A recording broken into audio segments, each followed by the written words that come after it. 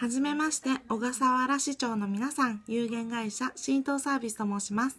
弊社は人工芝の販売、施工、メンテナンスなど、人工芝のことなら何でもお任せください。ただいま、業務拡大のため、施工パートナーも募集しています。サンプルの無料請求や人工芝についてのお問い合わせなどは、ホームページ、しばんちゅ .jp をご覧ください。どうぞよろしくお願いいたします。